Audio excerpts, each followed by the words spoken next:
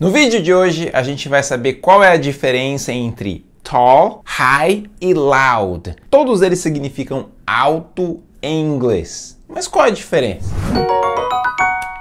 What's up, learners? Aqui é o Júnior Silveira, sou professor de inglês online, mensageiro da brilhagem. Estou aqui no meu quarto porque não posso ir até minha sala lá, né, gravar os vídeos por causa dessa quarentena toda aí, né, tá fechado. Aí minha esposa falou, pô, esse cenário aqui tá mó feio, meu Deus, o quarto tudo bagunçado, coloca um enfeite aí para ficar mais bonito pros seus vídeos e tal. Aí coloquei essa luz aqui, não sei se ficou bonito, né, tá parecendo outra coisa, né, tipo um motel, sei lá. Mas vamos, vamos pro que interessa, né? O conteúdo aqui é o seguinte: alto em inglês. Como que se diz? Nós temos aí as opções tall, high e loud.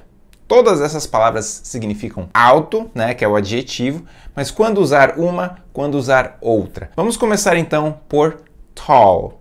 Tall significa alto, mas nós vamos usar no caso de quando estivermos falando de altura. For example, I'm a tall man. I'm a tall man. Ou seja, eu sou um homem alto. Minha altura é alta. tá certo isso? E também quando a gente fala de prédios, edifícios, eu anotei aqui um exemplo, ó. Burj Khalifa, acho que é assim que fala. Burj Khalifa is the tallest building. Burj Khalifa is the tallest building. O Burj Khalifa é o edifício mais alto, né? The tallest. Aí eu usei o superlativo. Se vocês quiserem que eu faça um vídeo sobre superlativos, coloca aqui embaixo nos comentários superlativo já. Hashtag superlativo já. Como vocês puderam perceber, tall, altura, né? Estatura e building também falando da altura, né? Beleza? Tall para, para altura. E a pronúncia é tall, tall, colocando a ponta da língua lá no céu da boca quando você termina a pronúncia, né? Então, tall, tall, tall woman, tall man, uh, tall girl, sei lá, tall, people are tall, as pessoas são altas, enfim, altura. Fechou? Vamos agora para high. Já começa pela pronúncia, né? High. High. Parece que a pessoa está dando oi, né? Oi, hi, how are you?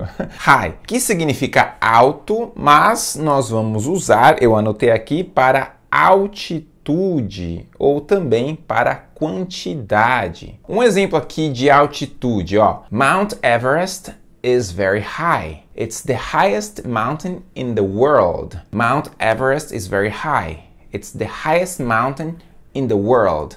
Ou seja, o Monte Everest, ele é muito alto, is very high, altitude, é o maior do mundo.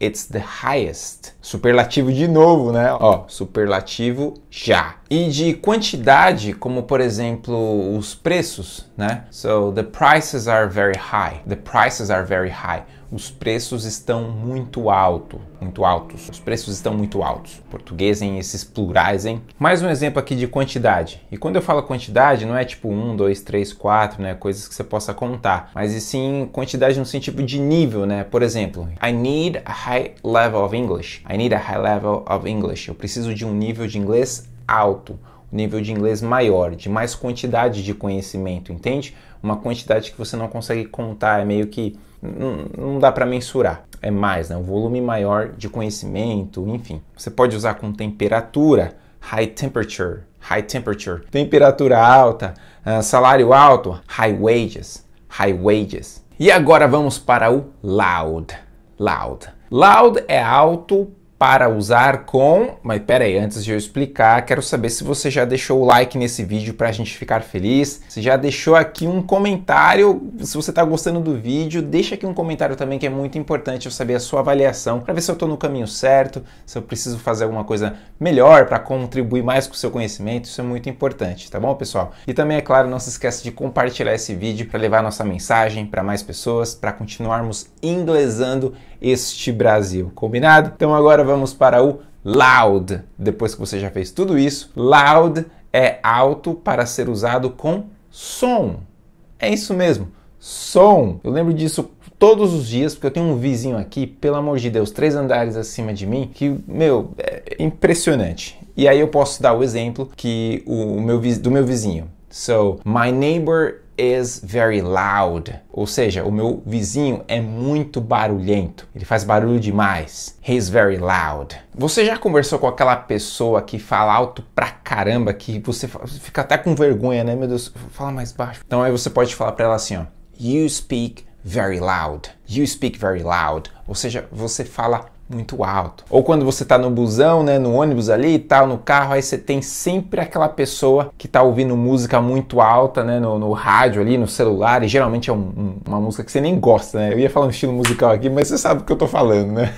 que a pessoa não põe um fone de ouvido. Pelo amor de Deus, então você pode falar assim: Hey, it's too loud. Turn the volume down, please. Hey, it's too loud. Turn the volume down, please. Hey, tá muito alto, tá alto demais. Baixa esse volume, por favor.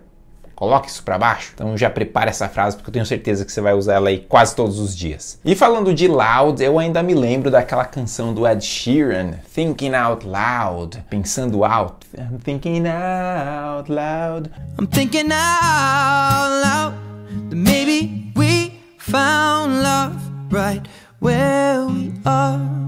Já que eu expliquei a diferença entre esses três altos, está na hora dela. It's homework time!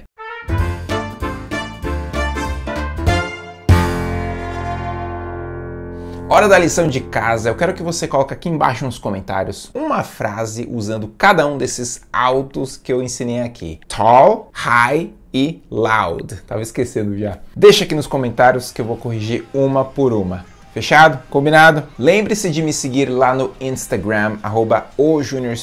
Lá eu posto muito mais aulas de inglês, conteúdo todos os dias e também consigo conversar melhor, né? Bater um papo no privado, né? Com todo mundo e tá? tal. Então me segue lá no Instagram, arroba. Got it? Eu vou me despedindo de vocês aqui. Muito obrigado pela sua audiência, pela sua paciência, por ter prestado atenção na minha aula. And that's it for today. Thank you very much guys for watching. E lembre-se todos vocês, lembrem-se, See you around. Bye.